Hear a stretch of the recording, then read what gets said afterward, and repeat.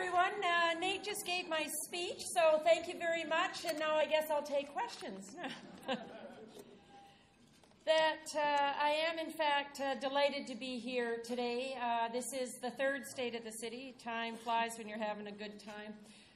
And as, as corny as it sounds, I do have one of the best jobs in the whole world. And I love the opportunity of State of the City because it allows me to share with you why I feel that way. Now, previous states of the city have uh, been highlights of the preceding year and a broad overview of what initiatives are going to be coming forward. But this year we wanted to do something just a tad different, and I'm changing up both the format and the content. We're going to be focusing exclusively on two very specific initiatives that are going to have a profound impact in our community. And while WestJet is a very strong indication that we're on the right track, it is only part of today's presentation. So, ROI. As members of Chamber of Commerce, you are no doubt very familiar with these initials. They imply inputs and outputs, and when they're positive, they mean prosperity and growth. Today, we're going to be talking exclusively about ROI. But I did promise you that we're going to be mixing it up today, not just in terms of content, but also in terms of style. And while I have never been shy of a microphone, I thought that it would be important to add other voices to the chorus today, talking about the state of our city. So we went to the public and asked them what they liked most about Brandon. I like I came from Winnipeg, so I like like the downsize a little bit, easy to get around. Um, yeah, it doesn't take long, and it's just not so congested and not quite as big. But then all the amenities are still here.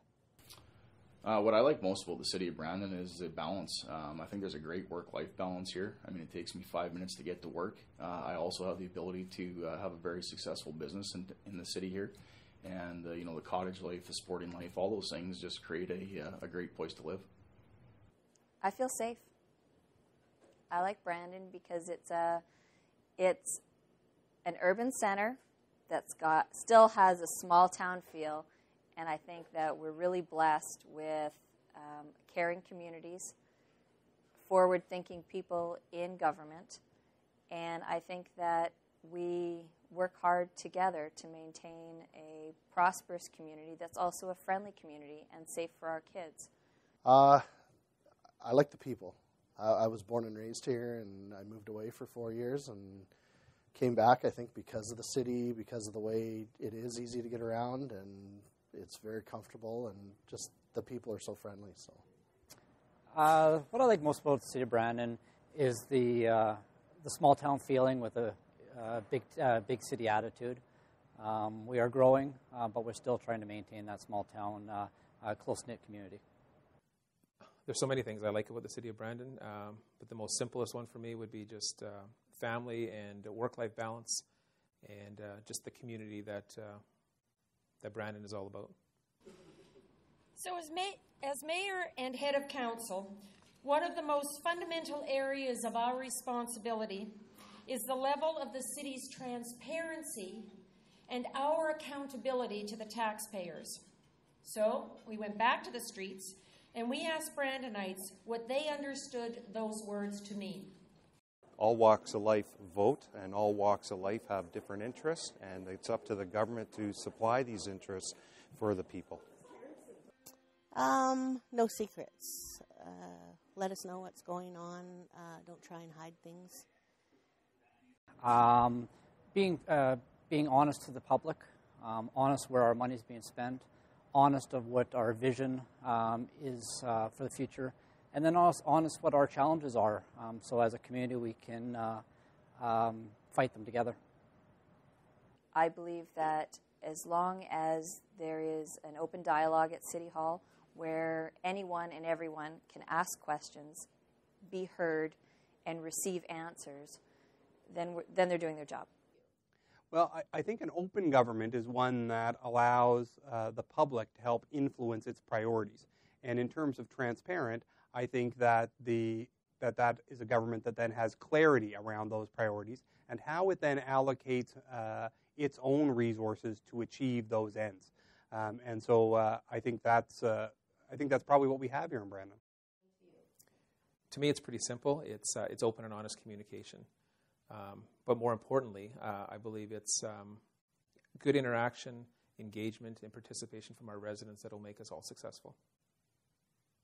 I believe an open and transparent municipal government means that uh, there's an opportunity for the public at large to easily access information uh, that's relevant to city issues. Um, you know, technology is changing the game for that. The ability for people to webcast in, uh, watch it live on WCG TV, or uh, or to be at meetings. Uh, you know, for the city to collaborate with members and get them around public consultations is also very beneficial.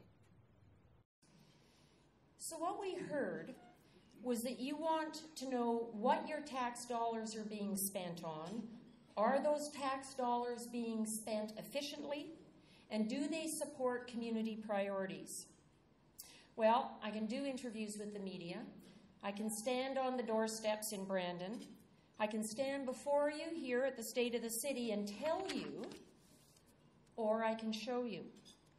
So, this is our first look at ROI. Return on information. Information is perhaps the most valuable asset of any enterprise, and City Hall is no different. What an enterprise does with the information is often the difference between success and failure. And one of the key strengths that you bring to the board table or the council table is an ability to process that information. For months now, we've been talking about benchmarking. And I wanted to give you today the first look at that system. The scorecard is about measurement, and if you can't count it, you can't track it. So we're now measuring community safety in terms of police calls for service, the state of our roads in terms of potholes and snow plowing, the efficiency of our labor force in terms of six days and overtime, this is our first attempt, so you can be certain that the scorecard five years or ten years from now is going to be radically, dif- radically different than the one today. In fact, a very simple difference is going to be year to date comparables because, in some instances, this is the first time that we've been counting some of these measures. Metrics are going to be updated monthly in advance of the department head meetings, and a review of the scorecard will be a standing item number two right behind safety at every one of those meetings. Now, scorecard is going to have different audiences and different levels of information. There'll be a public view, and deeper down, an internal view. The information will be invaluable for tracking performance, identifying trends, raising questions, and adjusting strategies. Internally, it's all about performance management, project goals, financials, and other critical metrics. Externally, it's going to support community wide efforts to increase accountability and transparency within the city government and for the residents we serve. So here's an example of how the city manager and his senior team will be tracking sick time. It starts with a goal and it measures progress against that goal. A quick glance tells you that you're on track, if you've got concerns, or if you're needing improvement. Now, I know you're going to rush back to the office after lunch and log on to opengov.brandon.ca so that you too can see what the external view of our scorecard is going to look like. Externally, anyone's going to be able to see performance indicators that are linking our priorities with how your tax dollars are being spent. It's critically important for the success of our scorecard that you, as the users, give us the feedback we need so that we can make sure we're tracking what's important to you, that it's working the way you want it to work, that you're getting the information that you need. One of the very direct connections to city priorities, of course, is our roadmap for growth, and we talked about that a lot last year at the State of the City. It's also on our scorecard, and it looks like this. Based on the colors, you can follow along to see where we're making progress, where we're hitting roadblocks, and as we adapt to changing circumstances, what those shifting priorities are doing to the plan. I believe that the scorecard is a significant step forward to more transparency and accountability at City Hall. It's not the only step, and it's certainly not the last step, but it is a big step in the right direction. Brandon's growth is driving a lot of our roadmap for growth initiatives. We've grown in terms of processes at City Hall. We used robust systems and new technology to do what we need to do more efficiently and effectively. We have grown in the numbers of people who live, work, and play in Brandon. And now we need to turn our attention to growing our economy, to take advantage of opportunities, to provide a tax base that will fund the kinds of services and amenities that we want for our city. And that leads us to the next second transformational ROI initiative that I wanted to share with you today, and that's return on investment. Investment is all about putting resources, time, people, money, getting a return. I'm always impressed with the advice and ideas that I get from the public and so, once again, we went back to the street to get the public's thoughts about what we need to do in Brandon to keep the momentum going and to attract investment and grow our economy. More parks, and don't forget about the greenery space in town. Um, it's nice to expand, and everyone wants to live in a brand new house, but we tend to forget about the birds and the bees and the trees and the green grass. The vacancy rate seems to be pretty low right now, and rent is pretty high. It's pretty tough for especially young kids just moving out for the first time to be able to afford to move out. They pretty much have to have a roommate, so maybe more affordable housing. I think the growing city should stay on the track that we have established. I think that we're poised for, uh, for growth. I think with the infrastructure we have and the willingness at City Hall and the good people we have in Brandon, I think we can only go forward. I think they're doing a great job. Um, I think they need to make sure that they include the rural people as well as the urban people in all of what they're doing. Remember that they have a quite a bit of quite a few rural people that are outside that uh, need to be thought of too. You know, the word of advice I have is that, uh, you know, I think the city and economic development can make use of the business community and the Chamber of Commerce. Uh, I think there's some great minds, some great business people that have been here for a long time, and a combination of new business people that have innovative thinking. And I think both that uh, utilizing those those uh, those entities can help the city achieve their goals. Well, I, would probably have lots of advice about what uh, the city might do in terms of economic development um, not just the city, but the community as a whole. And I think that's where we need to start. Brandon and probably uh, in general the larger Westman area needs a community plan. Where are we going? Where's our economy going to develop into the future? And I think that that would, number one, uh, be good for bringing stakeholders together the private sector, educational institutions, uh, municipal governments, and other, uh, and other providers that can help to look at how do we provide the resources we require. Well, I would, I would start by saying uh, economic development, uh, as well as an economic development strategy, I think is imperative to a growing city like Brandon. Um, I think it's, uh, it's very important that we retain and attract um, not only industry but business um, to be successful for the future.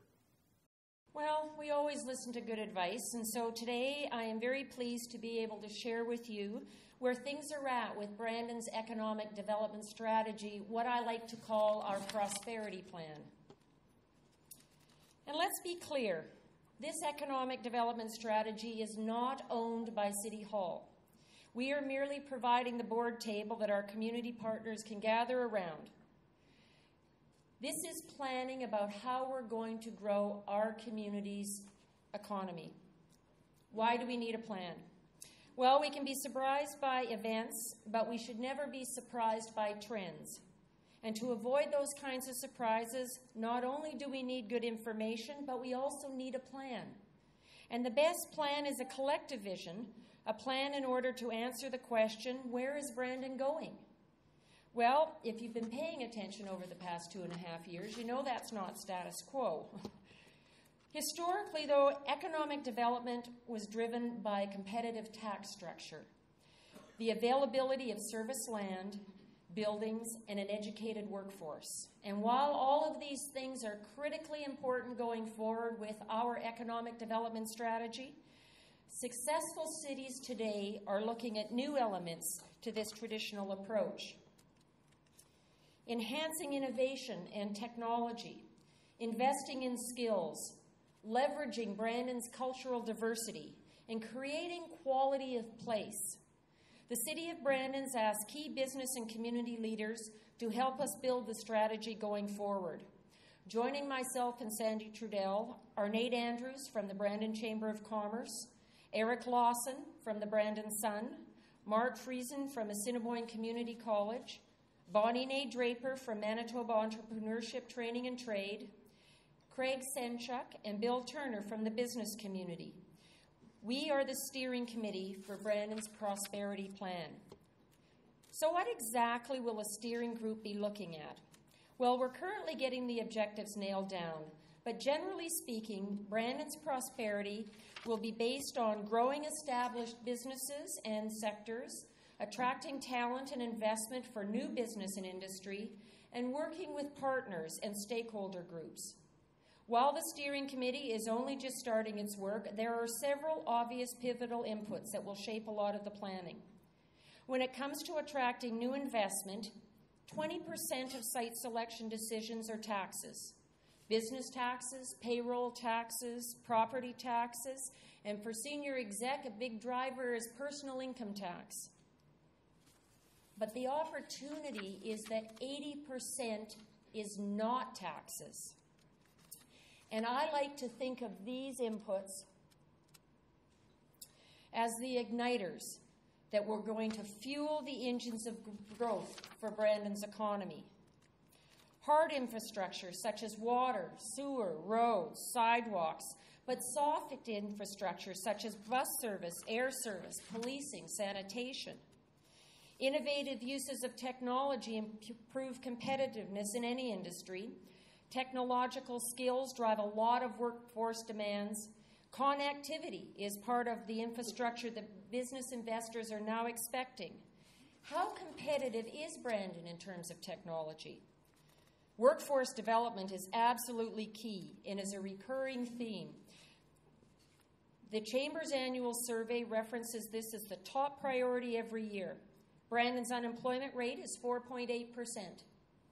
Put this in the context of Manitoba's unemployment rate at 5.1% or Canada's unemployment rate at 7.2%. And the tyranny of supply and demand becomes obvious. Wages are going up unless we can recruit more people, which is why quality of life is no longer a soft, fuzzy, nice to have, but rather part of that 80% decision. Almost every business is investing in recruitment and retention. Workers are mobile and can choose to go anywhere.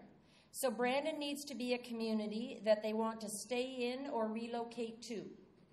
Maybe it's good schools, available daycare, jobs for spouses, a winning hockey team, walking paths, art galleries, or a vibrant social scene.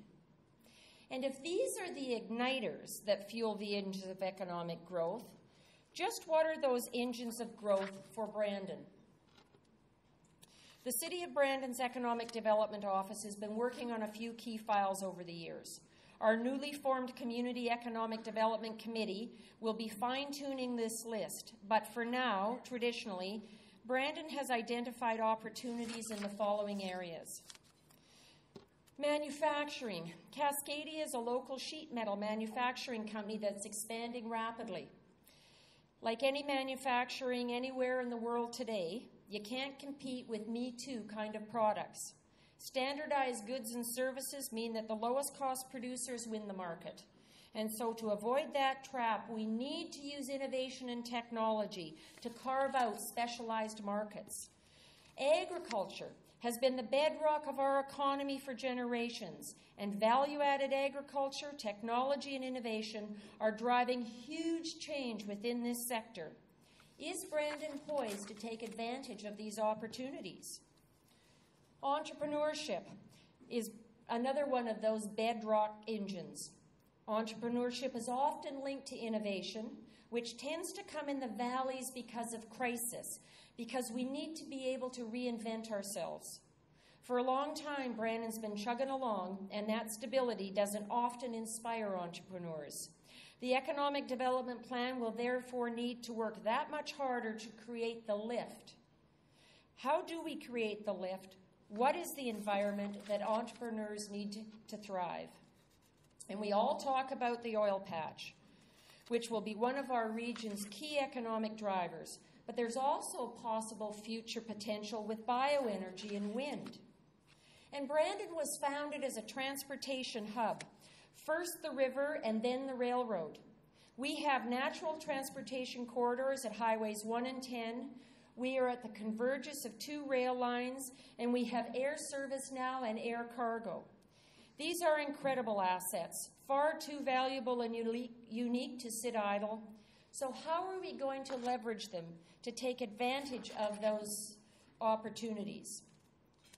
And I can't say enough about workforce development and positioning Brandon as a smart city. But workforce development just isn't ACC and BU. It's also industry specific on site training and apprenticeship. Another of those incredibly unique assets that we only use a small portion of is water.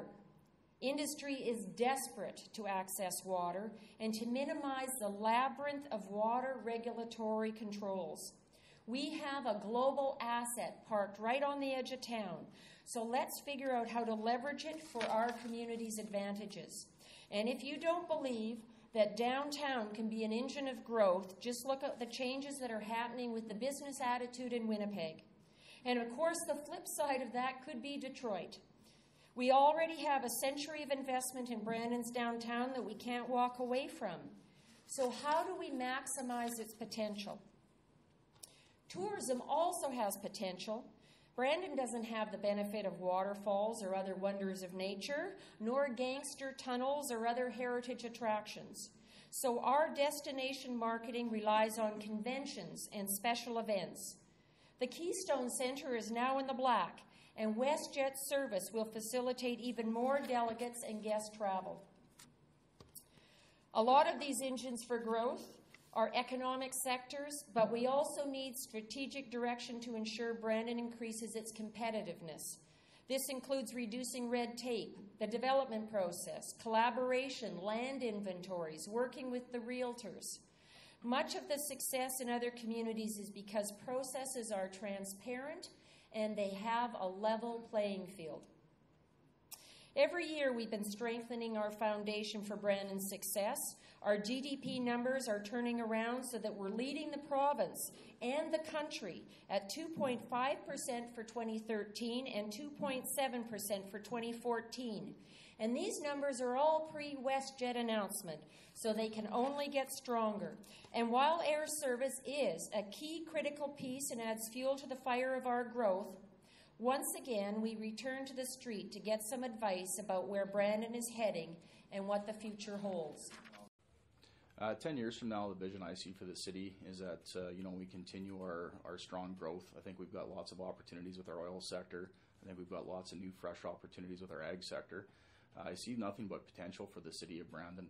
I'm hoping at that point we'll have air service, and that's just going to open up a whole new breadth of opportunities for our city to uh, to continue to grow to me, the next 10 years uh, for Brandon is all about growth and prosperity. I've lived in Brandon for the last five years um, and soon realized that it was a great place to live, to work, and to play. I think what we need in Brandon is a, a solid economic development strategy uh, that attracts business, uh, that attracts industry, Uh, while at the same time maintains our quality of life that we all expect. So, in conclusion, a lot's happened in Brandon and at City Hall since 2010 and there's still a lot more to do. We are strengthening the foundations that we need for our growing city. The scorecard is going to provide the transparency for the public and the benchmark metrics for City Hall that an efficient and effective government needs.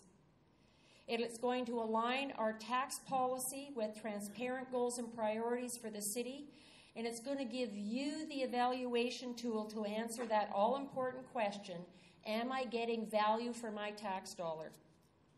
And speaking of tax dollars and revenues to fund growth, Brandon's Prosperity Plan, our economic development strategy, will help Brandon to leverage today's opportunities into a prosperous future. Brandon's future is indeed bright. And I want to thank you for your interest today, to thank my colleagues on council, to thank City Manager Scott Hildebrand and his team of exceptional people, and to thank our wonderful IT staff and Shelby and Jason in particular, my assistant Phyllis Miller, and the businesses and the public who took the time to share their thoughts about building a thriving city with us on camera. I believe in and I am committed to building a prosperous future for our city. And when it comes to the future, there are basically three kinds of people those who let it happen, those who make it happen, and those who wonder what happened. Today, I am inviting you to be an active maker of Brandon's future. Thank you. Yeah, you got time?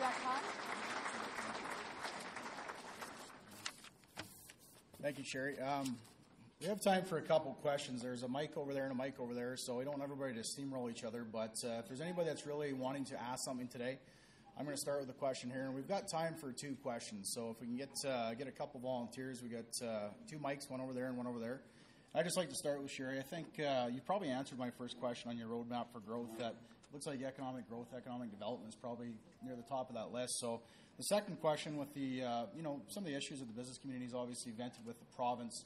Um, what what is the city of Brandon doing to make sure that we get our slice of uh, that government funding for infrastructure? Yeah, I think it's uh, uh, critically important. Everybody understands the uh, deficit that we have for infrastructure funding here in the city, not just for the existing stuff that's already in the ground, but for the new initiatives like going uh, south, going north, east, west, uh, for all the new developments that we've got to be adding to the city. We uh, are lobbying hard, uh, both uh, through the front door, if you will, uh, and again, I participated uh, with uh, the mayor of Winnipeg and the other city mayors in the province to thump the table a bit and talk about the importance of, of funding infrastructure through the new PST allocation that's been going on. We're doing some very aggressive lobbying through the back door.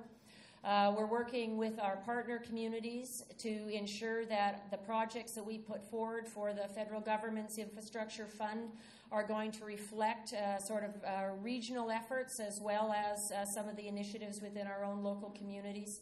At the end of the day, we have to fund infrastructure. This maintenance has been put off for too long.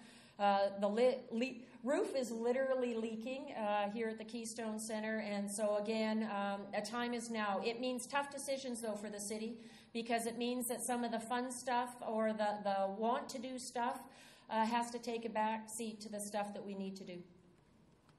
Yeah, sorry, I. Uh, you got your funding for the Empire thing. I want more. Uh, just my question, Shari, it was uh, actually brought up